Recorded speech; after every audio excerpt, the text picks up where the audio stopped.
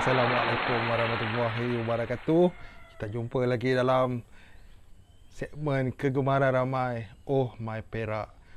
Hari ini ya, kali ini ialah episod yang ke-8 dalam Oh My Perak. So, bila episod ke-8, aku akan ajar korang 8 perkataan baru dalam bahasa Perak. Tak adalah baru bagi orang Perak, bagi korang yang bukan orang Perak. Mungkin ini sesuatu yang baru. Jadi, jom kita mulakan pelajaran kita. Okey, jangan ponteng kelas. Kita pergi ke perkataan yang pertama ya. Okey. Perkataan yang pertanya, uh, yang pertama berbunyi tojin.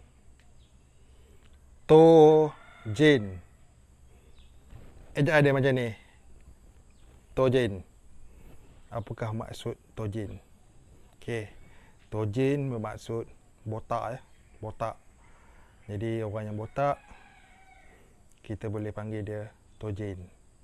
Ataupun aa, orang yang dari dia luas lah, sulah pun kita boleh panggil dia sebagai tojin.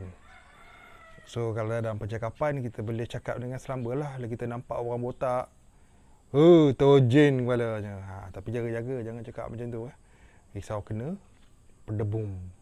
Ha, itu perkataan yang pertama. Tojin. Sekarang kita pergi pada perkataan yang kedua iaitu ngelewo. Ha, macam mana nak sebut? Nge le wo. Ejaan dia macam ni. Ngelewo. Apakah maksud dia? Ngelewo ni bermaksud terhoyong hayang eh, jalan terhoyong hayang. Ah, sebagai contohlah kita nampak orang mabuk eh di tepi jalan berjalan ngelewo ah, jadi dia tahu yang hayang lah kan. Ah, dan juga kita boleh aa, guna perkataan ni bila kita nampak ada budak-budak yang baru nak belajar naik basikal eh eh eh eh, eh. Ha, itu ngelewo eh. Jadi ngelewo ni ialah maksudnya terhoyong hayang eh. Ha, itu yang kedua Simple je. Ha? Nge, le, wo. Dan perkataan yang ketiga, ha, ni dia pelik sikit bunyi dia. Iaitu, sak nika. Kau pernah dengar tak perkataan ni? Sak nika. Ejaan dia macam ni. Sak nika. Sak nika ni bermaksud pelbagai. Pelbagai benda, pelbagai perkara. Ha, kalau contoh orang dulu-dulu lah kan. Ha, selalu cakap saknika benda.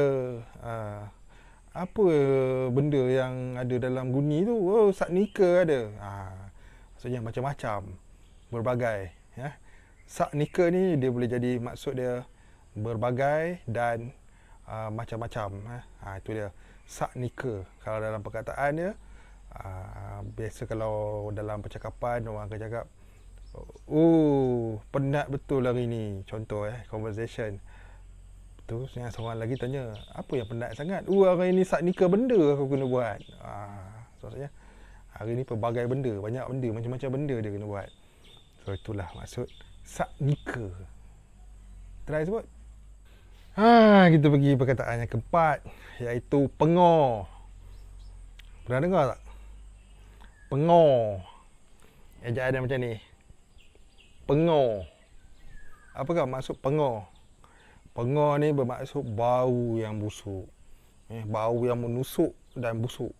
Ha, macam bau kentut, ha, bau najis kebau tepi jalan kan. Pengar, something yang very smelly, bad smell.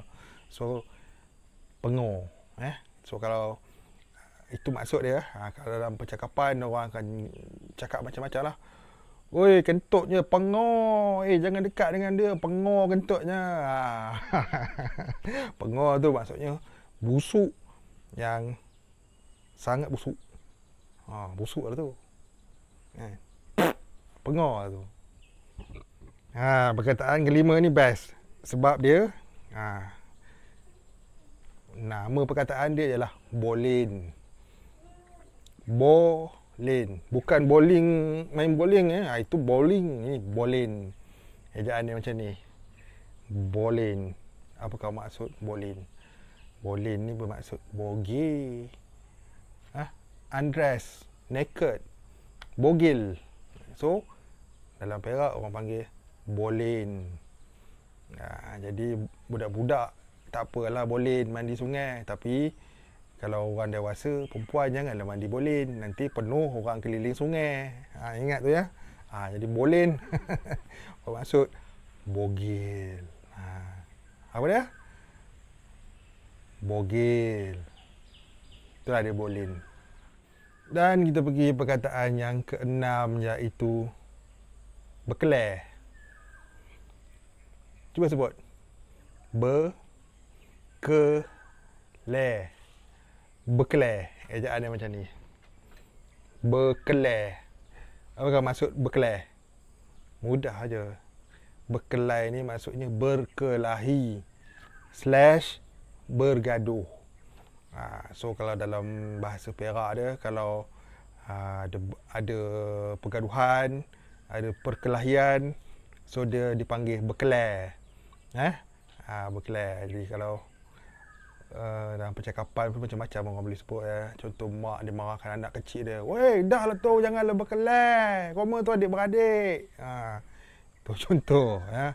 Ha, jadi kita sesama manusia ni janganlah berkelai eh, kalau apa-apa hal pun boleh runding eh, boleh bincang jangan berkelai tak elok berkelai dan kita pergi kepada perkataan yang ketujuh ya, untuk episod yang ketujuh ni part 7 ni perkataan dia. Aku rasa maybe ya, mungkin negeri lain pun ada pakai iaitu gebor.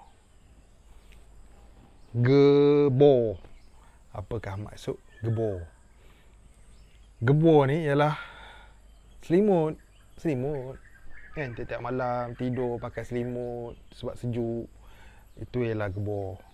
Eh selimut ialah gebor. Dan aku rasa uh, perkataan gebor ni gebor ni walaupun uh, orang Perak ada pakai tapi aku rasa ada negeri lain pun yang menggunakan perkataan gebor eh. Macam contoh uh, orang-orang Pahang eh mungkin dia disebut gebor sebagai selimut.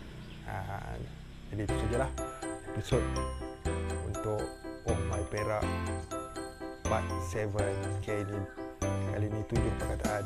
Aku harap Musim PKP ni Korang dulu kat rumah Korang tengok video Korang take note apa yang aku ajar InsyaAllah habis PKP ni Korang akan jadi Pelajar yang cerdik. See you guys in my next video. Bye bye